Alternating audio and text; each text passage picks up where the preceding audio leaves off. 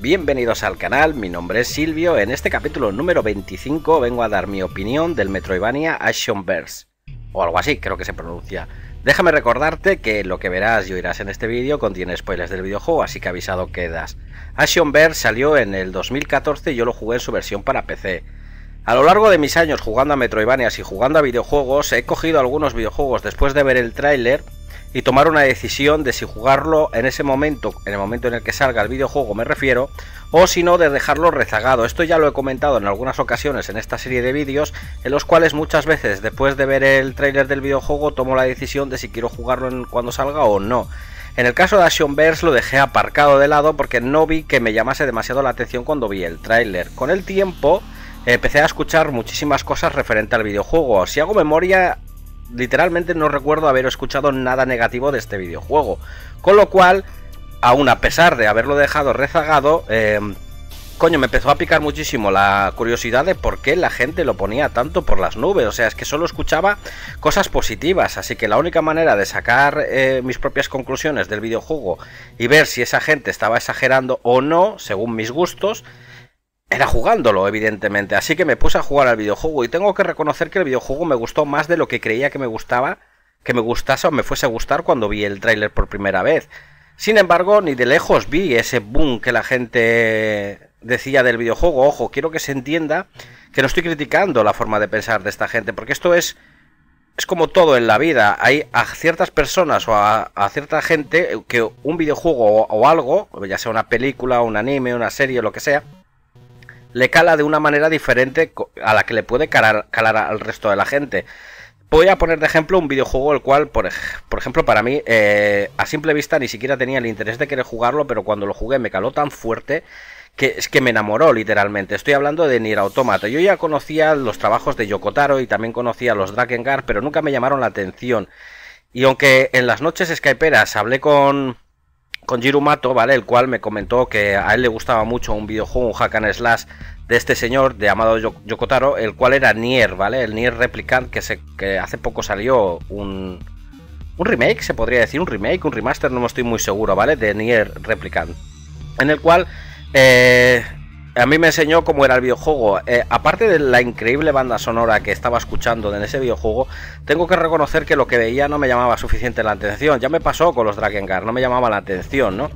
Y lo mismo me estaba pasando con Nier Automata. La primera vez que yo vi los trailers y los anuncios de Nier Automata dije, bueno, vale, sí, a ver, estéticamente no me, no me resulta desagradable, pero tampoco me está llamando la atención lo suficiente como para jugarlo. Luego me puse a ver gameplays, eh, speedruns y todo eso y dije, no sé, o sea, es que no me llama la atención, pero en una de estas que se te cruzan los cables y dices, coño, voy a jugarlo yo a ver si esta experiencia tan desastrosa que estoy teniendo con ver la gente jugar al videojuego, ver cosas del videojuego, cambia mi percepción, porque ya me pasó con con este, ¿cómo se llama? El de Divinity of Isaac, ¿sabes? Yo veía mucha gente jugar al juego y no entendía y hasta que no lo jugué no lo comprendía, así que eh, me puse a jugar al Nier Automata y, literalmente me enamoró. Soy consciente de sus defectos, esta es una de las diferencias que tengo con muchísima gente, y es que a pesar de que el juego me gusta tanto y lo tengo por las nubes y es para mí uno de los mejores videojuegos que jugué eh, de esa generación, sí que es cierto que soy capaz de ver esos defectos. Muchísima gente cuando ve esas, cuando un videojuego le cala tan fuerte como me caló, por ejemplo, a mí Nier Automata, no suelen ver esos defectos o lo intentan disimular de alguna manera o no quieren ser eh, o para ellos simplemente no ven esos defectos, porque no los tiene, porque para él es perfecto tal y como está. No creo que exista la perfección en este mundo, eh, en ningún producto, de hecho, entonces... Sí, pero sí que es cierto que hay mucha gente que literalmente se queda ciega completamente con el videojuego y no ve más allá. Y yo pensé que esto era lo que estaba pasando con, con Verse, porque yo estuve jugando al videojuego y dije, a ver, eh, yo tengo mis preferencias y mis gustos, llevo muchísimos Metroidvanias en, ya en, en lo que viene a ser mi listado, ¿vale? Eh, porque ya te digo, no lo jugué en el 2014, lo jugaría, pues, por ejemplo, en el 2017 o 2018. Bastante después, cuando ya lo que es el flujo de Metroidvanias creció bastante, como ya mencioné en el vídeo de. De Ori and the Blind Forest, que, que Ori and the Blind Forest salió en el 2015, un año después de que saliese ese. A partir de ahí ya el flujo de Metroidvanias que yo fui jugando fue muchísimo más, eh, más grande de lo que antes de Verse que jugaba poquito. Sin embargo, en aquel entonces sí que jugaba una gran variedad más de videojuegos y no le quise dar esa oportunidad. Entonces, Lo que quiero decir es que posiblemente hay cierta gente la cual pues eh, pone muy por las nubes ciertas cosas del videojuego las cuales yo no lo vi en, el, en lo que es en el tráiler y tampoco lo vi cuando lo jugué. De hecho, hay cosas de este videojuego las cuales a día de hoy no me siguen sin gustar. Una de las cosas que más voy a sobresaltar de este videojuego, sin, duda, sin lugar a dudas, es esa eh, banda sonora que tiene. Tiene una banda sonora que yo no la he escuchado nunca, ¿vale? En un videojuego suena súper raro, o sea, no sabría cómo definir el estilo de música. Yo no soy músico ni tampoco entiendo de música. Simplemente si esto me gusta, pues me gusta y punto. No, no intento saber de qué es cada cosa ni de dónde viene. Pero sí que es cierto que la música que tiene Actionverse me gusta muchísimo. Ya directamente la banda sonora que está soliendo, eh, que, suena mientras estamos eligiendo entre los menús, esa, banda sonora me parece flipante. En sí la banda sonora del videojuego me encantó y posiblemente eso sea uno de los motivos por los cuales estuve eh, jugando al videojuego más de lo que quería jugar. Sin embargo, ¿Por qué digo esto? Es que, a ver, eh, me he topado con ciertas cosas en el videojuego las cuales me han parecido que digo, es que ¿por qué? Yo he hablado muchísimo del tema del tema de lo que obtenemos de recompensa por explorar un Metroidvania. Pero, no, pero rara vez he hablado del tema de los mapas en sí, ¿no? Para mí el, mapa de un Metroidvania tiene que ser sencillo, ¿vale? la función que tiene que cumplir el mapa de un Metroidvania es para orientar el jugador en los eh, entrincados laberintos que pueden tener cada escenario del videojuego. Sin embargo, esto va asociado a ciertas ventajas o desventajas que nos añaden las compañías. La mayoría de los Metroidvanias cumplen la función simple de tener un mapa para orientarte y en el cual en el mapa vamos a poder vislumbrar tanto los puntos de guardado como los puntos de viaje rápido para que así el jugador sepa con mayor exactitud a dónde tiene que dirigirse, pues si quiere grabar una partida o si quiere viajar rápido. La mayoría de los Metroidvanias clásicos, sobre todo, no incluyen absolutamente nada más. Sin embargo, como ya comenté, en el 2007 Aquaria ya permitía el hecho de colocar marcadores. Los marcadores para mí son una ayuda bastante importante dentro del género Metroidvania, siempre y cuando no me hagas un mapa como por ejemplo lo hizo Moon Studios con Ori and the Blind Forest o por ejemplo la gente que hizo 3000 Duel o el más reciente que que he jugado hace poco, que es el Hunter X, que es de los mismos tíos, aunque cambiaron el nombre de la compañía. Y es que tú tienes un mapa eh, y en el mapa tienes muchísima más información. Por ejemplo, en Ori tú lo que tienes que hacer es ir comprando ciertas habilidades de nuestro personaje, las cuales te van a dar, eh, por así decirlo, eh, una visualización del mapa o de los objetos que están en el mapa. Primero empiezas con las células de energía, luego empiezas con las células de vida, luego con las esferas naranja y todo eso, hasta que al final tengas el compendio de todos los objetos que puede ocultar un mapa de un Metroidvania. Y tú no necesitas en ese videojuego el tema de los marcadores, porque es lo que te estoy diciendo, ya te lo estás revelando. Lo mismo sucede con el Hunter X o 3000 Duel. Tú directamente cuando pasas por un cofre, aunque no lo puedas coger, o un objeto, automáticamente se te queda marcado en el mapa tanto como las puertas bloqueadas, como los puntos de guardado, los puntos de teletransporte, como he mencionado antes. Entonces, en estos videojuegos, personalmente para mí no necesitan el hecho de tener la posibilidad de colocar marcadores. Pero luego tenemos el otro tipo de Metroidvanias, como por ejemplo en Blasphemous, el cual sí que tenemos los puntos de guardado y los puntos de viaje marcados en el mapa, pero no tenemos nada más. Entonces, si tú pasas por una zona y ves que tú no puedes alcanzar dicha zona porque te falta la movilidad correspondiente o que te falte cualquier cosa, ¿vale? Que te permita alcanzar esa plataforma, pues lo normal sería colocar un marcador. Entonces, que para mí un videojuego limite los marcadores es algo molesto. Y esto es lo que pasa con Verse. Cuando yo empecé a jugar con Verse, me llegué a la tercera zona. Es, bastante rápido porque es un Metroidvania bastante pequeñito. No es corto porque vas a tener que dar muchas vueltas y muchas veces vas a tener que tirar mucho de cabeza por cosas que ya explicaré un poquito más adelante, con lo cual te va a ampliar lo que es la duración del videojuego. Sin embargo, eh, ir de una zona a otra en realidad es rápido. O sea, yo empecé a progresar y empecé a progresar bastante rápido. Porque claro, tú vas andando por lo que es las zonas y ves que te encuentras caminos cerrados. Esto pasa también en Super Metroid. Nosotros cuando llegamos por primera vez a Crateria y una vez que cogemos la morfosfera y de ahí las bombitas más los misiles, ya no tenemos nada que hacer más en esa zona. Entonces nos tenemos que ir a, a Brinstar. Y de Brinstar, con que Brinstar es bastante largo, yo diría que es de las zonas más largas, aparte de Maridia, Muchas cosas de, de, no las podemos hacer. Nos encontraremos puertas moradas, puertas de color naranja o puertas con color rosa, pero eh, literalmente no podemos progresar demasiado en ellas porque no tenemos las habilidades correspondientes, con lo que vas a tener que avanzar hasta la siguiente zona. Y esto pasa exactamente lo mismo en Verse. Con lo que eh, yo puedo entender que en un videojuego como Super Metroid no tuvieses la posibilidad de tener marcadores, sin embargo el juego sí que tenía lo que por así decirlo, una eh, eh, información vaga, vamos a llamarlo de esa manera, en la cual tú sabías que esa habitación tenía un, objeto porque salía marcado en el mapa con un puntito. Ahora, ¿dónde estaba ese objeto? No lo sabías. Esto luego se mejoró muchísimo más en el, en el Fusion o en el Zero Mission. Porque ya lo que es el remake del 2 y el Metroid Dread, eso ya están a otro nivel de información en lo que podemos obtener en el mapa. Entonces, claro, como yo empecé a avanzar, empecé a toparme con muchísimas zonas las cuales, pues, evidentemente no podía alcanzar o simplemente no podía recoger ese objeto porque no tenía lo que se necesita para poder recogerlo. Entonces yo empecé a colocar marcadores. No me percaté, esto es culpa mía, lo reconozco, ¿vale? No leí bien las cosas. Porque daba por sentado de que no tenía limitaciones en ese, en ese aspecto. Entonces yo empecé a colocar marcadores, entonces empecé a avanzar, empecé a avanzar hasta que llega un punto en el cual dije, bueno, ya he cogido bastantes habilidades, vámonos a dar unas vueltas por aquí a ver si puedo hacer una recolecta y tal, eh, a visitar los puntos que he marcado con los marcadores. Y cuando desplegué el mapa, dije, ¿qué está pasando? ¿Dónde están los marcadores? Entonces fue cuando me percaté de que el videojuego solo te permite colocar dos marcadores. Dije, ¿cómo que solo dos marcadores? O sea, me estás diciendo que tienes seis o siete zonas del juego que de la zona 1 a la zona 3, que he tardado como máximo una hora en llegar de una a otra, me he topado con igual 10 o 15 zonas, las cuales evidentemente no voy a poder alcanzar hasta que no tenga la habilidad correspondiente, que se han quedado marcadas en el mapa como que ya he visitado, con lo cual esto es un impedimento bastante importante a la, a la larga, ya que tienes que tirar mucho de memoria o si no tener que reexplorarte el videojuego de cabo a rabo al 100%, para intentar encontrar ese objeto que sí que vislumbraste cuando pasaste por ahí, pero no lo recogiste. Esto es un factor importante en el género Metroidvania que hay que tener en cuenta. La mayoría de los Metroidvanias tienen un mapa en el cual cuando tú te desplazas se va dibujando.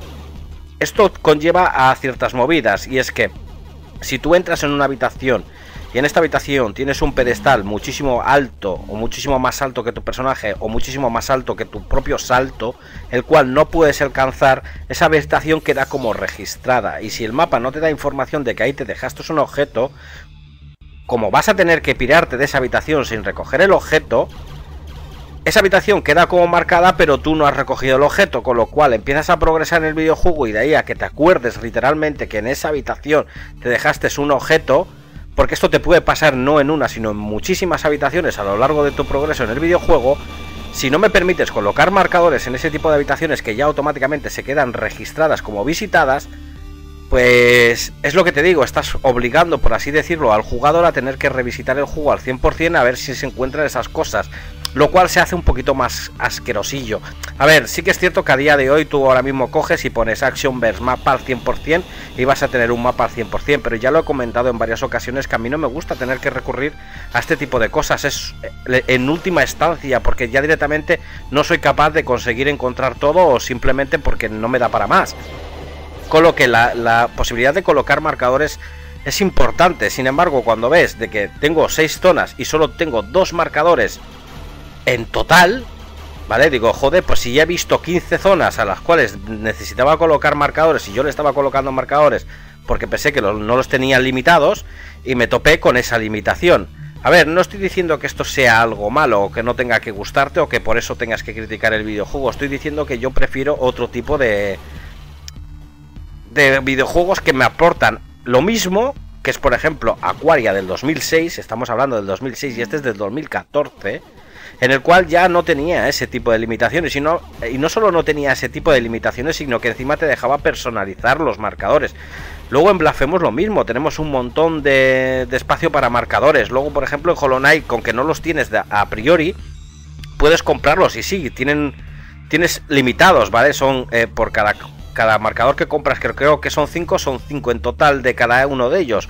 Lo cual pues tú calculas, ¿sabes? O sea, tienes bastantes, lo suficientes como para que no quedarte sin marcadores a la hora de analizarlos todos, o sea, o de colocarlos todos. Sin embargo, que en un, videojuego en el cual ya directamente desde, desde, la zona 1 a la zona 3 ya me he visto 14 sitios a los cuales necesitaba poder colocar marcadores y que solo estaban limitados a dos, eso no me gustó absolutamente nada.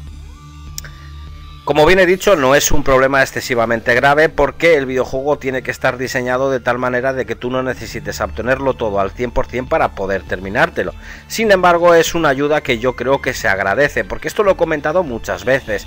A día de hoy, hace ya 10 años incluso, la cantidad de videojuegos que salen al año es brutal. Entonces, la gente, pues, evidentemente tiene mucho más donde elegir y tampoco tiene suficiente tiempo como para querer jugarlo a todo. Entonces, se juegan a los videojuegos, pero no intentan completarlos al 100%. Hay muy poca gente que lo haga, solo tenéis que mirar los logros de Steam de la mayoría de los videojuegos importantes. Hay muy poca gente que tenga todos los logros o una muy gran cantidad de logros. Sin ir más lejos, por ejemplo, llegar al 106% o al 112% de Hollow Knight creo que lo tenía un 1% de las personas o un 3%. Vale, estamos hablando de un videojuego que ha vendido más de 4 millones y medio de, unidades. O sea, 4 millones y medio de personas han jugado al videojuego y solo un 3% es muy poco comparado con toda la gente que realmente tiene el videojuego. A eso es a lo que voy. También sí que es cierto que para completar ese porcentaje tan elevado, te tiene que gustar mucho el juego, pero sin embargo la mayoría de la gente lo que hace es me termino el videojuego y me pongo con el otro. Y es así constantemente, porque ya te digo, no tienen tiempo, eh, quieren jugar a muchísimas cosas diferentes, pero tampoco quieren sobreexplotar un videojuego únicamente, con lo que si tú encima pones muchas de estas mecánicas, las cuales no estás incitando al jugador a querer explorar tu videojuego, pues si encima no permites el tema de los marcadores, pues muchísima gente simplemente va a intentar pasarse el videojuego y se olvida. Ya te digo, tiene que gustarte mucho el videojuego como para querer dedicarle el tiempo suficiente a, explorar. Y encima, por mucho de que pongas esas facilidades, hay cosas que siempre serán crípticas o que sean más complejas o que te puedas olvidar literalmente de que estaban allí, con lo que mucha gente incluso hasta literalmente recurren a lo que os acabo de decir del buscar el mapa al 100% del videojuego. De hecho, hay muchísima gente que lo hace así. ¿Sabes? Quieren completarlo, pero como vean que el videojuego es demasiado estresante, simplemente se lo pasan y a correr. No lo digo porque sí, ¿vale? Lo digo porque lo he visto muchísimas veces constantemente. Sin embargo, yo sí que soy una persona a la cual, si el videojuego me incita a querer eh, conseguirlo todo, y, mayormente me pasa con muchísimo con los Metroidvanias, aunque últimamente no con muchos, quitando el que, el que hablé en la semana pasada, que se llama el Blast Brigade, que ese sí que lo completé al 100% porque me pareció increíble el videojuego y encima incitaba mucho a querer hacerlo. De hecho, me sorprendió muchísimo que, que Pepe Vélez, ¿vale? una persona a la cual ya raro es de, es de por sí de que eh, la mayoría de los Metroidvanias que yo juego a él le interesen, ¿sabes? Él es muy selectivo en ese aspecto. Y la mayoría de los videojuegos rara vez se los completa al 100% del género Metroidvania. No quiere decir que no lo haga en otros videojuegos, porque sí que lo hace, pero sin embargo en el género Metroidvania muchas veces se conforma con simplemente pasarse el videojuego como muchísima gente. Y en Blast Brigade sí que le incentivó a querer explorar y completarlo al 100% y lo hizo, cosa que me sorprendió bastante. Y eso es a lo que voy. Sin embargo, un videojuego como Action Verse, que encima ya con el tema de los marcadores no incita al jugador a querer explorarlo, es que esta gente ni siquiera se va a querer molestar en buscarse un mapa al 100% para poder completarlo entero. Porque es lo que te digo, el problema del mapa al 100% que conlleva a que tienes que memorizarte o acordarte, en este caso, de todo lo que has recogido tú para no tener que estar pasando por las mismas habitaciones un montón de veces, ¿vale? Porque dices, ¿sabes que no recuerdo si ya si cogí este objeto aquí o no? O sea, prácticamente tienes que hacerte el videojuego al 100% nuevamente, ¿sabes? Eh, en esta ocasión sí que vas a conseguir ciertas cosas, pero muchas veces vas a entrar en una habitación la cual creías que no habías cogido el objeto y sin embargo sí que lo habías cogido. Son muchísimas cosas las que conllevan a que a día de hoy eh, no tienes que hacer que la dificultad en un videojuego sea el completarlo, ¿sabes? Sino que el completarlo tenga que ser algo que sea agradecido con el jugador porque es que mucha gente no lo va a querer hacer.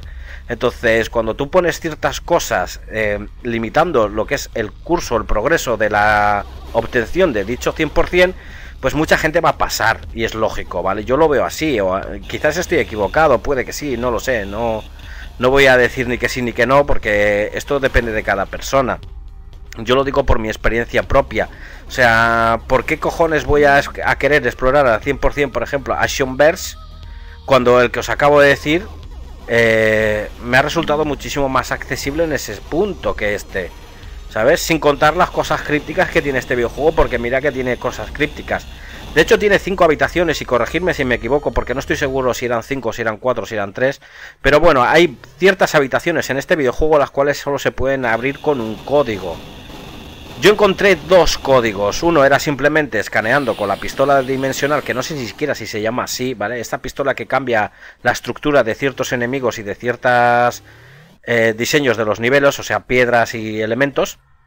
La cual, al darle a una especie como de de tubo rojo, ¿vale? Me salía la letra, el código y lo incluí el código y se me abrió el acceso y así obtuve el objeto. El segundo fue bastante más complicado porque es que me tiré literalmente un montón de horas, un montón de horas intentar eh, ver por cómo cojones me faltaba ese hueco por explorar y no conseguía explorarlo. Y la cosa era que tú tenías que utilizar la pistola dimensional con todos los enemigos como son como una especie de bolitas que había en la pantalla. Cada una tenía una letra. Entonces tú apuntabas la letra, apuntabas todos los códigos, lo pondrías y lo abrías. Sin embargo, las otras tres lo intenté todo. ¿Vale? Todo lo que creía yo que se podía hacer en el videojuego, todo lo que se tenía que hacer en el videojuego y no lo conseguí hacer. Incluso a día de hoy ni siquiera me he molestado en buscar cómo cojones se resuelve eso. Sino que literalmente lo que busqué fue el código. Porque llegué a un punto en este videojuego el cual el querer completarlo al 100% Uf, se me hizo muy cuesta arriba porque había muchísimas cosas que no las entendía. Tú cuando vas avanzando en el videojuego te empiezas a dar cuenta de ciertas cosas. La, pistola dimensional sirve para ciertos enemigos, pues, alteran ciertos enemigos, sin embargo hay otros enemigos los cuales nos alteran, simplemente se ven como si fuesen un glitch y ya está.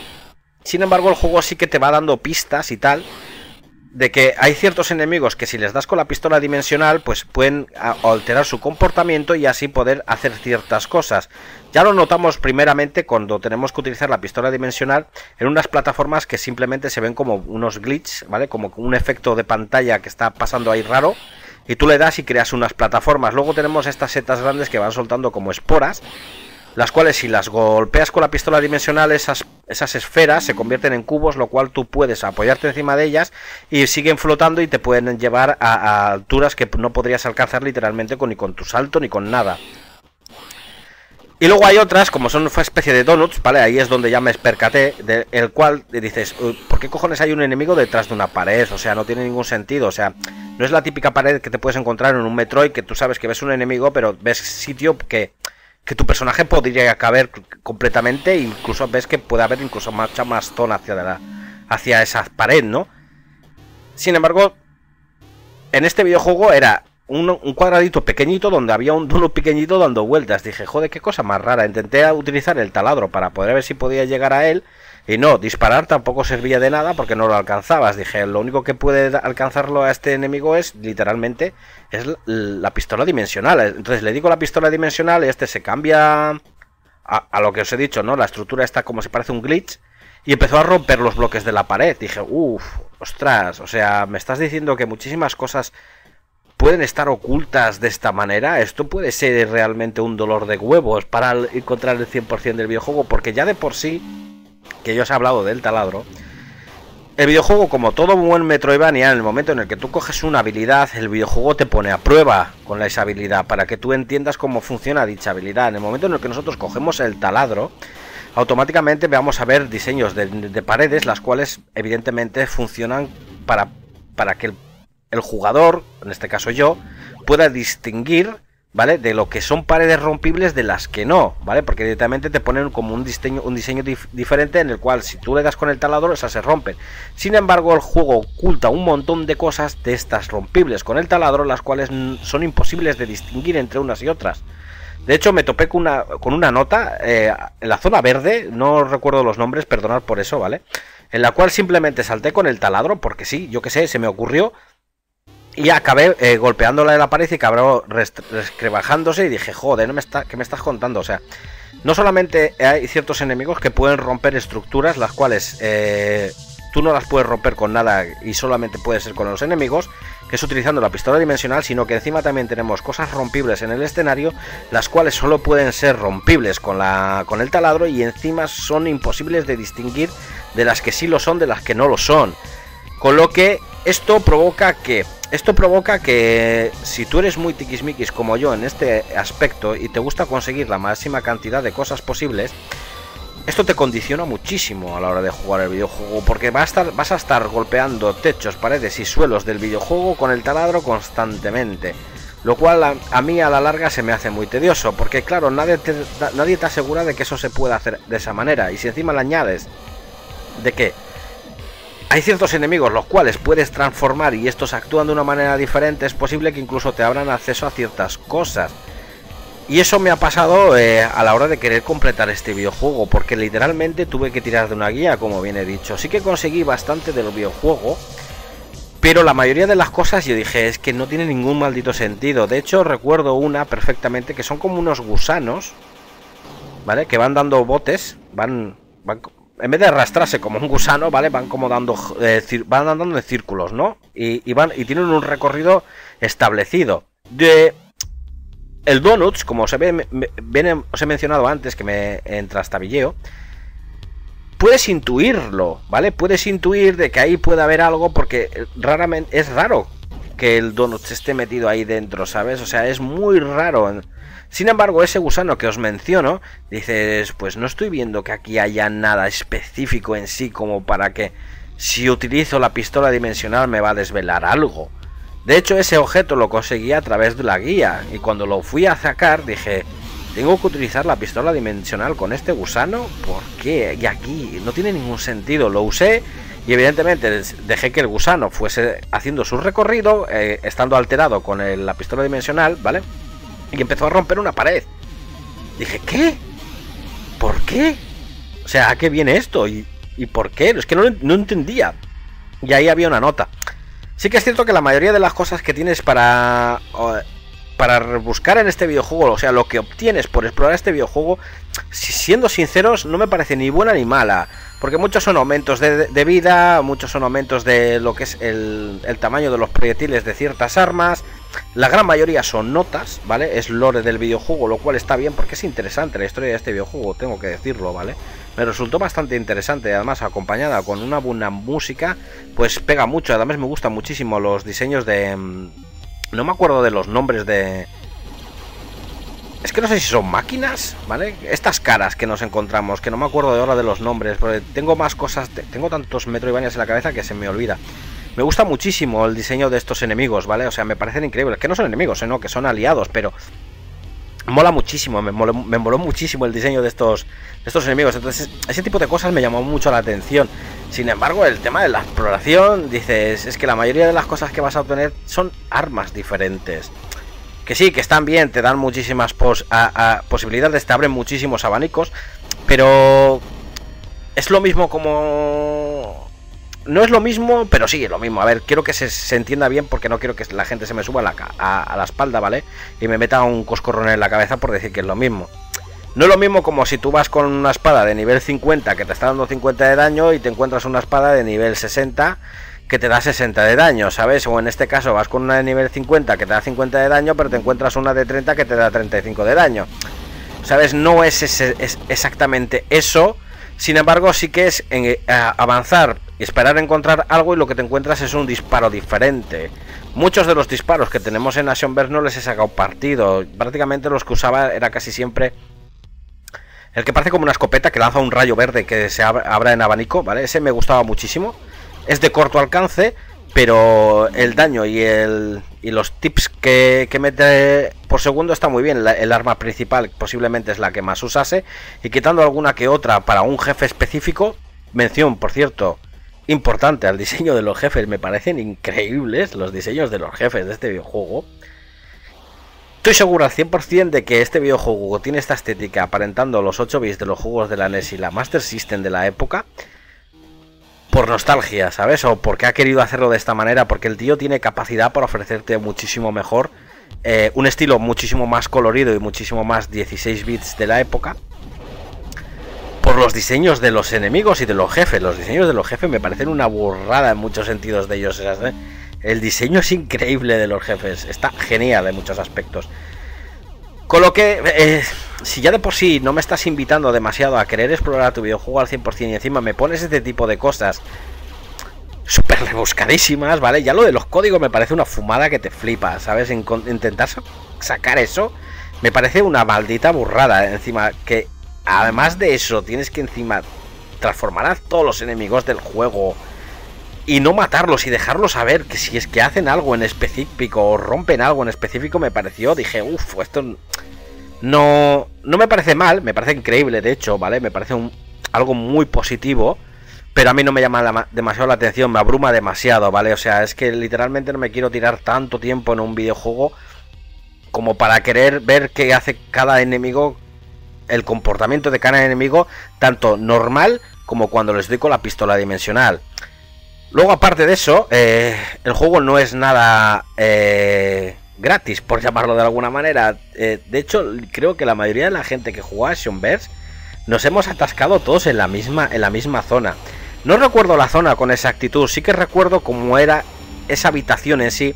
Y es que como tiene como unas piscinas, ¿vale? Tiene pisos de piscinas, las cuales tiene un líquido de color rosa.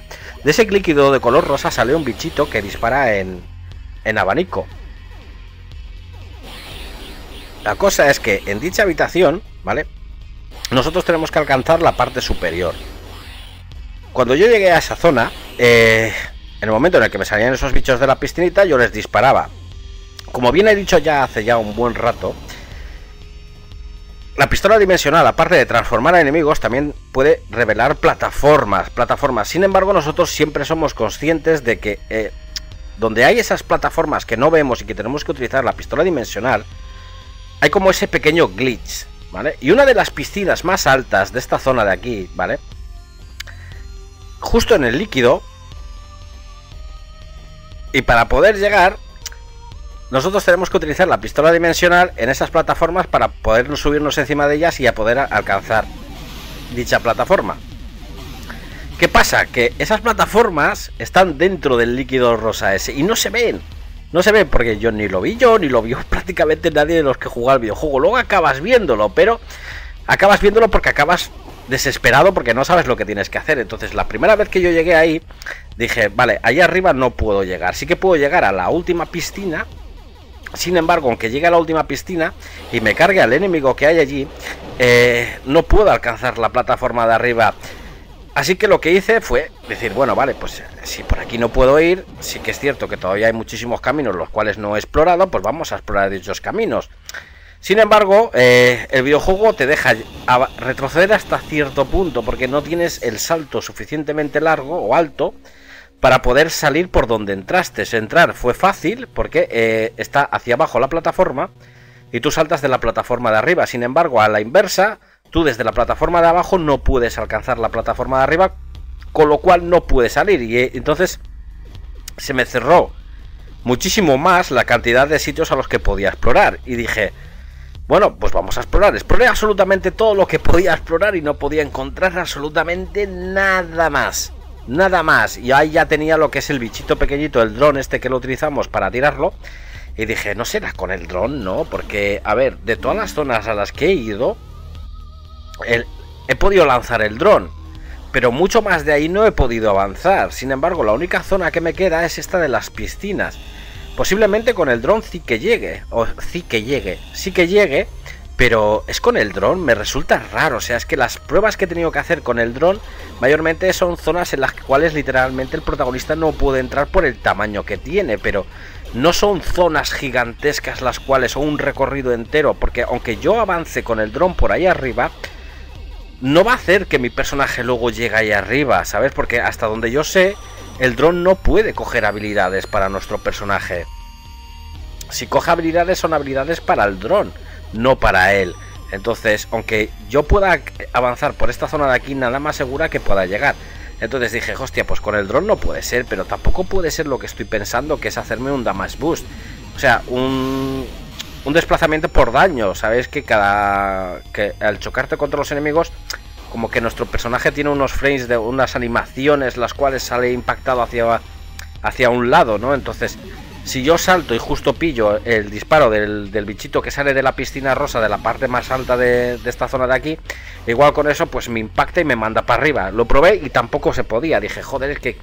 ¿Qué, ¿Qué pasa aquí? ¿Sabes? Dije yo, bueno, pues lo único que me falta por probar literalmente es utilizar la pistola dimensional en los bichos, a ver si esto se convierte en una plataforma o se tiene un se convierten o hacen algo diferente a lo que a lo que realmente hacen cuando no lo hacen, o sea, cuando no están transformados con la pistola dimensional. Porque probé darles con la pistola dimensional a ver si se podían volver plataformas y de ahí poder subir y nada, no pasaba nada, o sea, literalmente me hacía daño igualmente. Sí que es cierto, si mal no recuerdo, sí, sí que siguen saliendo del charco del charco rosa, pero ya no disparan o, no recuerdo bien, ¿vale? Simplemente sé que no había que hacerlo de esa manera. Sin embargo, empecé a, a ver bien, ¿vale? Eh, el tema de las piscinas, porque dije, joder, no puede ser que me, haya, que me, haya atascado ya, o sea, ¿cómo cojones me he atascado, ¿sabes? Y, me fijé que la piscina de arriba tenía como brillos diferentes a las otras dos piscinas de abajo. Dije, joder, no va a ser que esta mierda tiene plataformas y hay que apuntarle a la piscina literalmente y no al bicho con la pistola dimensional a ver si se crean plataformas y así poder alcanzar la parte de arriba. Lo hice y dije, bingo. A partir de ahí no me volví a atascar más, pero sí que es cierto que ahí sí que eh, se me hizo muy cuesta, muy cuesta arriba eh, el poder progresar. Sin embargo, el juego me, encantó. O sea, sí que es cierto que no voy a decir que eh, me impresionó tanto como le impresionó a la gente. De hecho, incluso el 2 me decepcionó bastante más que este. No es la palabra decepcionante porque no es que me haya sentido decepcionado, sino que me gustó menos que el primero. O sea, como que el primero estaba mucho mejor construido en algunos aspectos. Como que sentía como que eh, en el primero sí que tenías como esos combates contra jefes. Cosa que también tienes en el 2. Solo que en el 2 están como puestos en la pantalla y no, no tienes un previo aviso de que te vas a enfrentar a un jefe. Como sí que pasa en este de aquí. Porque ya sale directamente la marca de la sala. Que como que es de color roja la puerta. Sabes que justo a la inversa tienes un punto de guardado. Y, literalmente sabes que son jefes, ¿sabes? En el momento en el que entras, aunque en el otro también sabes que son jefes, no tienes ese punto diferencial de que te vas a encontrar un jefe ahí. Porque yo muchas veces me he matado jefes en el Actionverse 2 y digo, esto era un jefe porque tenía pinta de que era un jefe, pero... O sea, es que literalmente me lo acabo de encontrar aquí porque sí. O sea, no, no tiene ningún sentido. Sin embargo, eh, el juego tiene una misma jugabilidad muy buena. Uno es ataque desde lejos, que es el primer Actionverse, y otro es a melee yo soy mucho más de juegos a melee, de ir cuerpo a cuerpo. Sin embargo, eh, me pareció mucho más caótico el 2, pero ya hablaré del 2 cuando le corre, cuando le llegue el momento. Lo que quiero decir es que, a ver, Actionverse sí que me pareció un buen Metroidvania, ¿vale? Cumple como un buen Metroidvania, cumple como un buen sucesor espiritual de Metroid. ¿Vale? Porque no llega a tener la esencia de Metroid, sin embargo sí que coge muchas mecánicas que tiene Metroid. Coño, seamos realistas y sinceros. Lo del tema del dron para que pueda pasar por ciertos lugares estrechos, eso es como tener una morfosfera. Sin embargo, el punto de vista que le han dado a Actionverse a mí me gustó muchísimo. Lo del gancho, de colgarte en las paredes e ir a donde tú quieras, en Actionverse no tiene esa limitación que por ejemplo tenía Super Metroid que se limitaba a que el gancho solo era efectivo o podía cumplir esa función de gancho con ciertas plataformas. Entonces, si no, tú no tenías esos ciertos bloques, esas ciertas plataformas, no, podías utilizar el gancho como para columpiarte, cosa que en Actionverse no lo necesita. Cualquier techo es plataforma. De hecho, muchas veces he abusado de eso y me he llegado a zonas antes de tiempo gracias a tener el gancho. Y lo del dron, obviamente. Aparte de eso, eh, pues es una gran variedad de armas, aumentos de vida, aumentos de, lo que es el, el, tamaño de los proyectiles de algunas armas, un montón de notas, ¿vale? Un montón de lore y un montón de secretos muy crípticos para encontrar, pero está muy bien, la banda sonora cumple muy bien, el personaje responde muy bien, se controla muy bien, gráficamente está muy bien, aunque ya sabéis que yo prefiero mucho más esa estética que se asemeja más a los 16 bits de las consolas de la época que, los 8 bits en sí, porque evidentemente estos 8 bits son muchísimo más potentes y muchísimo más estéticamente bonitos que los que habían en la generación de, de la NES y de la Master System, pero eh, me gustó bastante. Sin, sin duda alguna, uno de los puntos fuertes que tiene el videojuego para mí es la banda sonora, porque acompaña muy bien. Luego aparte tiene muchísimas mecánicas que me parecen muy buenas y muy originales.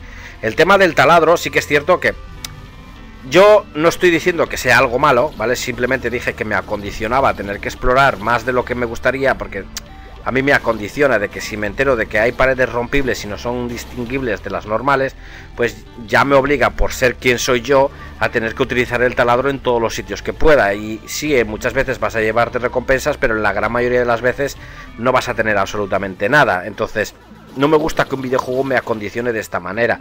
No me gusta que me regalen las cosas, pero no es algo que sea obligatorio en el videojuego, me explico. O sea, las zonas que puedes romper con el taladro en la gran mayoría de los casos, lo cual no quiere decir todas, están bien señalizadas, o sea, se ven bien. Entonces, coño, aquí se ve claramente que tengo que usar el taladro, ¿sabes? Entonces, usas el taladro, lo mismo como la pistola dimensional.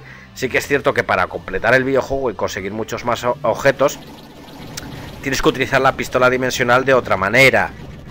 Para poder eso, transformar a los enemigos o entornos en distintas cosas para poder a ti facilitarte el poder avanzar. Sin embargo, para poder avanzar realmente en el videojuego y no tener que conseguir todos esos objetos porque no son necesarios para pasar del videojuego, quitando la zona de las plataformas, de las piscinas, de, con el líquido rosa ese que te digo, la gran mayoría del tiempo del videojuego, las habilidades estas que, tenemos eh, cumplen su función y son, eh, coño, ¿cómo decirlo? Orientativas, o sea, las puedes intuir ya te digo, exceptuando la piscina, que ahí sí que me quedé atorado un buen tiempo y no he sido el único, he visto mucha gente que le ha pasado lo mismo. Quitando eso, ¿vale? Que si tú lo ves como lo que es, pues e, es un videojuego que cumple muy bien como un Metroidvania. De hecho, a mí eh, me gustó muchísimo. De hecho, eh, no lo pondría entre los 20 mejores Metroidvanias, pero no andaría muy lejos de ahí, ¿vale? Porque ya te digo, o sea... Yo sí que soy bastante tiquismiquis con respecto al tema de los gráficos. Cuando, cuando digo bastante tiquismiquis me refiero a que si tuviese que valorar un videojuego, ¿vale? para que te entiendas, porque a mí Infernax, que es del 2022, el, primero que jugué, me, encantó ese videojuego.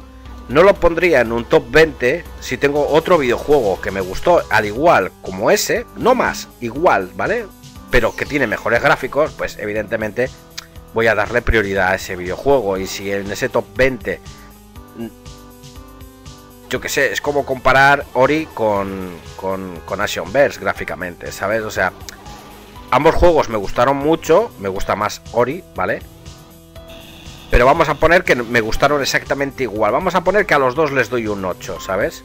Sin embargo, si tengo otros 19 juegos como Ori, ¿vale? Que me gustaron tanto como Ori o más o menos, pero que tienen mejores gráficos, obviamente no voy a poner dentro de eso a Actionverse, porque aunque no creo que tenga malos gráficos, sí que es cierto que personalmente para mí prefiero otros, ¿sabes? O sea, es como, como dije de Itorad.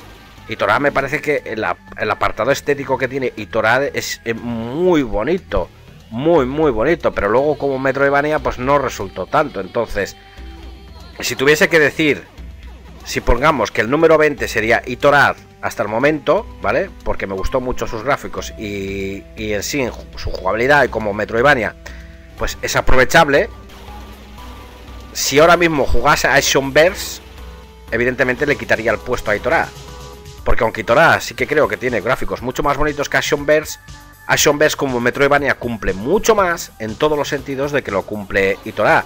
Sin embargo, tiene que darse ese caso y, y por desgracia, pues no sabría decirte. Tampoco estoy diciendo que sí ni que no, vale, ojo, porque tendría que hacer una lista. Y ahora mismo si solo, tengo una lista de los juegos que he jugado, los que tengo grabados y los que voy a subir. Ya tengo la gran mayoría de ellos grabados, porque en el momento en el que sale, lo juego. Juego una hora o unas dos horas como mucho al videojuego. Y digo, este juego estoy seguro al 100% que me lo voy a acabar. Pues ya directamente le grabo la partida.